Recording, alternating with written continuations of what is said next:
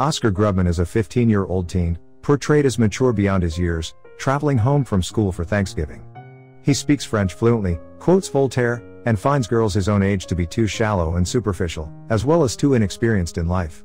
When an attractive girl from his school, Miranda Spear, who is obviously interested in him, approaches Oscar, he politely brushes her off. Oscar confides in his friend Charlie that he is in love with a mature woman and plans to win her heart during Thanksgiving break. Oscar arrives at the apartment of his father, Columbia University history professor and author, Stanley Grubman, and stepmother, the passionate cardiologist, Eve.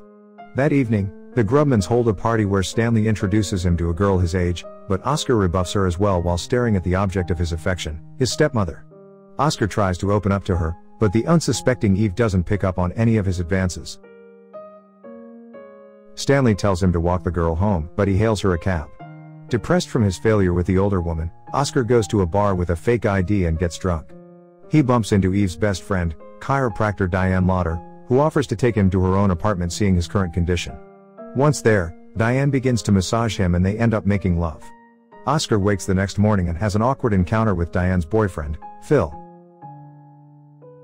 Back at home, Oscar plans a surprise lunch for Eve but first Stanley inquires about where Oscar spent the night.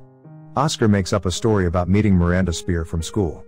He brings lunch to Eve at her laboratory, where he opens up to her once more, pondering the use of the heart as a symbol for affection. Together, they decide that the liver should be the new symbol of love. Their conversation is interrupted by a phone call from Stanley, who mentions that Diane will be joining them for dinner. Worried that Diane will tell them about their tryst, Oscar finds Diane at a tea room with several of her friends. All behave as though they know about the previous evening, and most of the women twice his age flirt with him. Oscar makes Diane promise to keep last night a secret from Stanley and especially Eve. At dinner, Diane drinks and behaves coyly. She plays footsie with Oscar and flirts with him in French.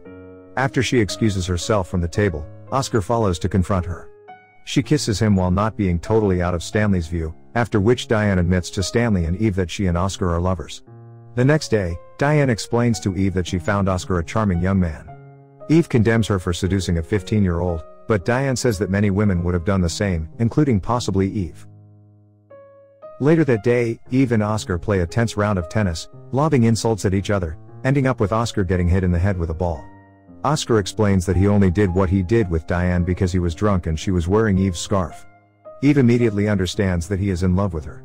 They share a passionate kiss and Eve eventually breaks away. At the end of Thanksgiving break, Eve and Stanley take Oscar to the train. Eve asks how his liver feels and he replies that it hurts, but is not broken. She also tells him how much he loves his father. On the train, Oscar meets up with Charlie and runs into Miranda. Miranda quoted Voltaire, if we do not find something pleasant, at least we will find something new, and looks longingly at Oscar. Charlie notices this and Oscar tells Charlie that Miranda smells nice. Charlie asks about Eve and Oscar states that his obsession with Eve was not as important as it seemed. Charlie doesn't understand his friend, but Oscar smiles as the train rolls on. To watch more video like this, click on the videos on your screen and don't forget to let me know how you feel about today's video in the comments down below. And at last I will say stay safe and stay healthy. See you next videos.